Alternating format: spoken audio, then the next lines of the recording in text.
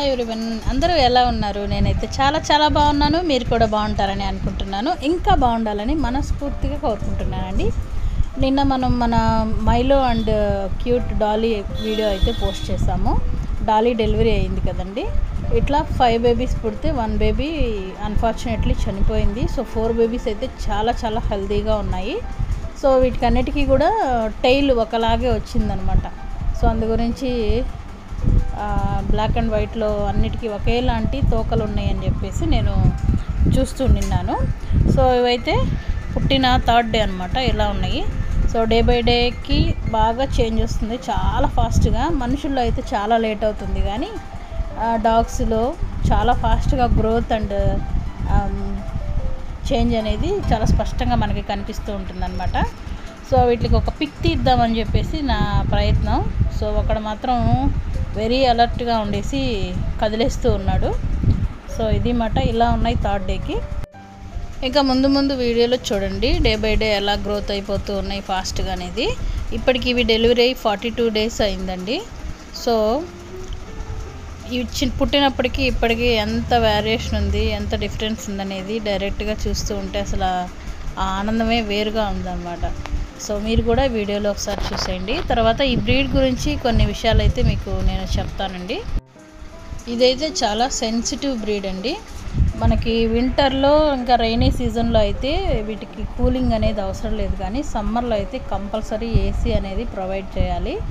ఏమాత్రం మీరు కొంచెం ఎండలో ఉంచినా కూడా ఇవి వెంటనే స్టైన్ అయిపోతాయి. అసలు ఉండలేవు అనమాట మీకు అర్థమైపోతూ ఉంటుంది. అవి డల్ అయిపోతూ ఉంటాయి. ఇంకా నోట్లో నుంచి సలైవా అనేది కారిపోతూ ఉంటుంది. ఇంకా అసలు వాటి ఫీలింగ్ అర్థమైపోతుంటుంది. మనం కాసేపు ఇంకా అట్లనే ఉంచేసాము అంటే ఇంకా పడిపోతాయి కూడా. So very very sensitive compulsory ఇవి కూలింగ్ ఏరియాలోనే ఉండాలి. మనం సమ్మర్లో కంపల్సరీ ఏసీ అనేది ప్రొవైడ్ చేయాల్సి ఉంటుంది. మనం వేసుకున్నా వేసుకోకపోయినా వీటికి కంపల్సరీ అనే చెప్పాలి ఒక మాట. ఇవి మన నుంచి మన పిల్లల్ని మనం ఎలా దగ్గర తీస్తామో అలా దగ్గర తీసుకోవాలని ప్రేమగా ముద్దాడాలని మన నుంచి ఎప్పుడు ఆ ఫీలింగ్ని ఎఫెక్షన్ అయితే ఎక్స్పెక్ట్ చేస్తూ ఉంటాయి. సో మనం కూడా వాటిని అలా దగ్గర తీస్తే మనతో చాలా ఫ్రెండ్లీగా ఉంటాయి. ఇంకా నిన్న వీడియోలో నేను చెప్పినట్టు మనం చేసే మెయింటెనెన్స్ని బట్టి వీటికి హెల్త్ ఇష్యూస్ రావు చాలా హెల్తీగా యాక్టివ్గా ఉంటాయి అని చెప్పాను కదా. మెయింటెనెన్స్ అంటే ఏం లేదండి ఫస్ట్ మనం మంచిగా వీటికి ఎప్పుడు కూడా చల్లగా ఉండే ఏరియాని అయితే ప్రొవైడ్ చేస్తూ ఉండాలి. అది నెక్స్ట్ వచ్చేసి ఫుడ్ మనం మనం తినేవన్నీ కర్రీస్ కారంగా ఉండేవి ఏమంటే అవి వీళ్ళకి పెట్టకూడదు. మనం ఒకవేళ మనం తినే ఫుడ్ని రైస్ రూపంలో దీనికి ఇవ్వాలి అంటే ఓన్లీ కర్డ్ రైస్ మాత్రమే ఇవ్వాలి. అది కూడా మిక్సీ పట్టేసి మెత్తగా ఇచ్చేయాలి. ఆఫ్టర్నూన్ టైంలో అవి ఇస్తే మంచిది బాగుంటుంది ఎండాకాలంలో వేడి చేయకుండా. నెక్స్ట్ ఫుడ్ వరకు వచ్చేసరికి ఫుడ్ అయితే కంపల్సరీ వన్ ఇయర్ గ్రోత్ వచ్చే వరకు రాయల్ కెనెన్ ఇవ్వాలండి. ఇది బయట అమ్ముతారు మనకి ఇది కొంచెం కాస్ట్ కూడా ఉంటుంది. మనకి ఫోర్ కేజీ బ్యాగ్ వచ్చేసి two thousand six hundred or eight hundred అలా ఉంటుంది ప్రైస్. సో ఎప్పుడు కూడా మనం వీటికి కంపెనీ ఏదైతే ప్రొవైడ్ చేస్తుందో ఆ ఫుడ్ని మాత్రమే ఇవ్వాలి. ఆఫ్టర్ వన్ ఇయర్ మీకు కావాలంటే మీరు దీనికి పెడిగ్రీ ఇచ్చుకోవచ్చు. సో అందువల్ల వీటిని పెంచడం కొంచెం ఖర్చుతో కూడింది. అలాగే మనం ఎప్పుడు కూడా వీటికి ప్రొటెక్షన్ ఇస్తూ ఉండాలి. ఇది మెయింటెనెన్స్ అంటే మనం మంచి ఫుడ్ ఇవ్వాలి కూలింగ్ ఏరియాని చేయాలి మనం ఎప్పుడు ప్రేమగా చూస్తూ ఉండాలి. And next one thing compulsory చేయాల్సినవి ఏంటంటే ఎక్కువగా దీనికి కోంబింగ్ అనేది చేస్తూ ఉండాలి. కంపల్సరీ రోజు దువ్వుతూ ఉండాలన్నమాట దీన్ని. చిక్కులు పడిపోకుండా ఉండాలి. లేదు మనకి పెద్దగా అల్లరి చేయట్లేదు డీసెంట్గా ఉంది అనుకుంటే మీరు డే బై డే అయినా సరే దీనికి కంపల్సరీ కోంబ్ అనేది చేయాల్సి ఉంటుంది. కోంబ్ అనేది కేవలం జుట్టు చిక్కులు పడకుండా ఉండడానికే కాదండి. దీనికి బ్లడ్ సర్క్యులేషన్ చక్కగా అయ్యి బేబీ హెల్దీగా ఉండాలి. మన దగ్గర ఉన్న డాగ్ అంటే మీరు కంపల్సరీ కోంబింగ్ అనేది చేయాల్సి ఉంటుంది. అండ్ వన్ మోర్ థింగ్ ఏంటంటే దీని మీద ప్యాషన్ ఉన్న వాళ్ళే ఇలాంటి బ్రీడ్స్ని పర్చేజ్ చేస్తే బాగుంటుంది అండి. అది మంచిది కూడా. ఎందుకంటే ఫస్ట్ ఆఫ్ ఆల్ దాన్ని మెయింటైన్ చేయాలంటే మంత్లీ మన ఖర్చులు కాకుండా దానికోసం ఒక త్రీ థౌజండ్ పక్కన పెట్టగలగాలి. అలా పెట్టగలిగి మనం ఏసీ రూమ్ని ప్రొవైడ్ చేయగలిగినట్టయితేనే ఈ బ్రీడ్ కొనుక్కోవాలి. లేదంటే వాటిని తీసుకొని మనం ఇబ్బంది పెట్టిన వాళ్ళం అవుతాము. మన తినే నార్మల్ ఫుడ్ అలా పెట్టేస్తే వీటికి అవ్వదనమాట సో ఇప్పుడైతే టెన్ డేస్ అయిందండి. లెవెంత్ డేకి కొంచెం ఐస్ ఓపెన్ అయినాయి. మీకు కూడా వీడియోలో కనిపిస్తుంది. ఇంకా వీళ్ళు రకరకాల పోజుల్లో ఇట్లా నిద్రపోతూ ఉన్నారు. ఆ పోజులు చూస్తూ ఉంటే నవ్వొచ్చి మీకు కూడా నేను వీడియోని అయితే పోస్ట్ చేస్తూ ఉన్నాను. నెక్స్ట్ ఇంకొక విషయం ఏంటంటే చాలామంది వాట్సాప్లో కానీ ఇంకెక్కడైనా మనకి ముద్దుగా ఉన్నాయి కదా అని మనం ఒక క్లిప్పింగ్ కానీ వీడియో కానీ పోస్ట్ చేస్తే మాకు ఇవ్వరా అని చాలా ఈజీగా అనేస్తూ ఉన్నారండి. ఇవ్వచ్చు కానీ దీని మెయింటెనెన్స్ అనేది చాలా ఎక్కువగా ఉంటుందండి. మనం ఇంత ఖర్చు పెట్టి వాటిని అంత జాగ్రత్త ఒక మనిషి కనిపెట్టుకొని ఉండి స్నానాలు చేసినప్పుడు అయితేనేమి రోజు అయితేనేమి వాటిని దువ్వుకుంటూ వాటికి నెలకు ఒక మూడు వేల రూపాయలు ఖర్చు పెడుతూ ఇంత ఖర్చు పెట్టి మనం పెంచుకొని ఈ బ్రీడ్ని ఫ్రీగా ఇవ్వాలంటే నాకు తెలిసి ఎవ్వరు ఇవ్వరండి. లేని వాళ్ళు మేమిస్తాం మేమిస్తామని మేము ఇస్తామని చాలామంది మాటలు చెప్తూ ఉంటారు. కానీ నిజంగా వాళ్ళ దగ్గర డాగ్ ఉన్నప్పుడు మీరు అడగండి ఎవ్వరు కూడా ఈ బ్రీడ్ని అయితే ఫ్రీగా ఇవ్వరు. ఇదే కాదండి బ్రీడ్స్ అంటే మనకి రెగ్యులర్గా దొరికేవి కాకుండా డిఫరెంట్గా ఉన్న ఏ డాగ్నైనా సరే ఎవ్వరు కూడా ఫ్రీగా ఇవ్వరండి. ఎందుకంటే వాటికి నార్మల్ డాగ్స్ లాగా మనం తినేది పెట్టేస్తే కుదిరిపోదనమాట కంపల్సరీ బయట నుంచి ఫుడ్ తీసుకొచ్చి పెట్టాలి మెయింటైన్ చేయాలి. దానికి మంచిగా కరెంటు ఫుడ్డు మెయింటెనెన్స్ మన ఓపిక చూసే ఓపిక ఇవన్నిటిని కూడా వాటి కోసం మనం వెచ్చిస్తాం కాబట్టి అందులో ఎంతో కొంత మనకి రిటర్న్ అనేది ఉంటేనే మనకి దాని మీద కూడా ఇంట్రెస్ట్ అనేది బాగా ఉంటుంది. సో అలా ఫ్రీగా అడగడం మాత్రం అది అంత కరెక్ట్ కాదండి. ఇంకొక విషయం కూడా చెప్తాను. దీన్ని బేబీని తీసుకోవడానికే మీరు ఫ్రీగా అడుగుతూ ఉన్నారు అంటే లైఫ్లో కంపల్సరీ దీని మెయింటెనెన్స్ అనేది మీరు చేయలేరండి. ఇది మటుకు నేను కంపల్సరీ చెప్పగలను.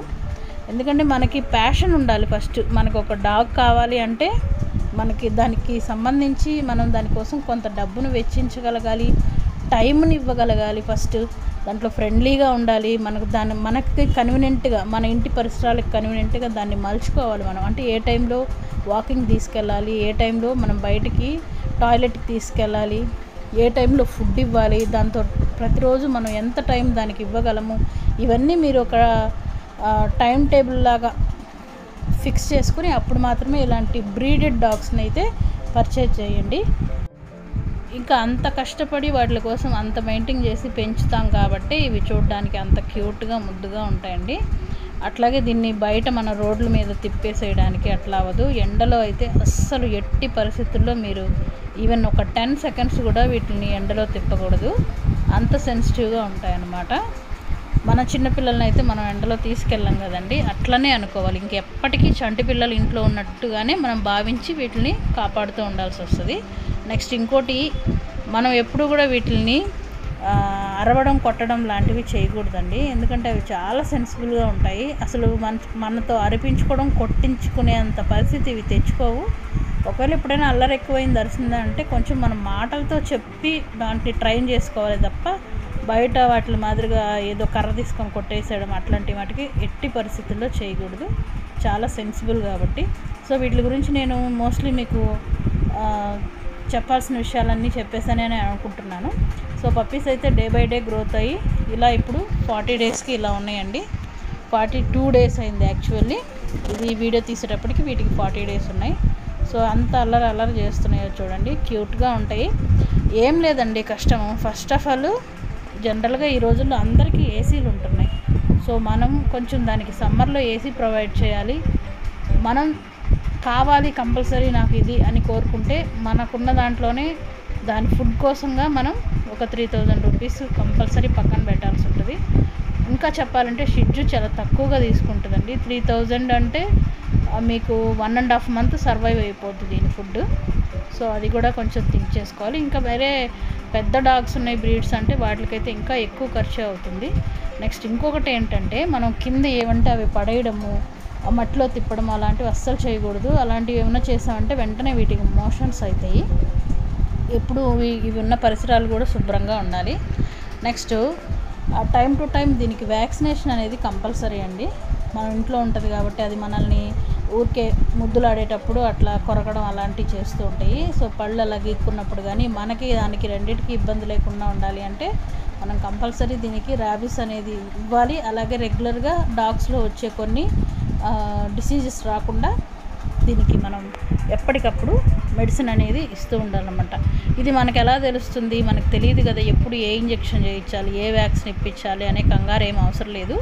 మీరు ఒక్కసారి ప్రైవేట్ హాస్పిటల్ కానీ గవర్నమెంట్ హాస్పిటల్కి కానీ వెళ్ళినట్లయితే వాళ్ళు మనకు ఒక బుక్ అనేది మెయింటైన్ చేస్తారండి ఈ డాగ్స్కి ఈ డాగే కాదండి ఏ డాగ్స్కైనా కూడా వెటర్నరీ హాస్పిటల్స్లో బుక్ అనేది మెయింటైన్ చేస్తారు. వాళ్ళే అందులో డేట్ వేసి ఈ డేట్లో ఈ ఇంజెక్షన్ ఇవ్వాలి ఈ టైంకి మీరు రావాలి అనేది కంపల్సరీ మనకి నోట్ చేసి ఇచ్చేస్తారు. సో ఈజీ అవుతుందన్నమాట. సో ఇదండి షిడ్జు బ్రీడ్ గురించి. ఇప్పుడు కూడా ఈ పప్పీస్ నా దగ్గర సేల్కి ఉన్నాయి. మీకు ఎవరికైనా కావాలి అంటే డిస్క్రిప్షన్లో ఫోన్ నెంబర్ ఇస్తాను. ఆ నెంబర్కి కాంటాక్ట్ అయ్యి మీరు ప్రైజెస్ ఎంక్వైరీ అనేది చేయొచ్చు. సో దీని గురించి మీకు నాకు తెలిసినంతలో బాగానే చెప్పానని అనుకుంటున్నాను. వీడియో నచ్చితే తప్పకుండా లైక్ చేయండి షేర్ చేయండి. ఫస్ట్ టైం ఛానల్ చూసిన వాళ్ళైతే తప్పకుండా సబ్స్క్రైబ్ చేసుకోండి. అలాగే పక్కనే ఉన్న బెల్ ఐకాన్లో యాక్టివేషన్లో పెట్టుకుంటే నేను ఫర్దర్గా ఇచ్చే నెక్స్ట్ వీడియో ఫస్ట్ నోటిఫికేషన్ మీకే వచ్చేస్తుంది. Thank you for watching see in the next one take care bye bye now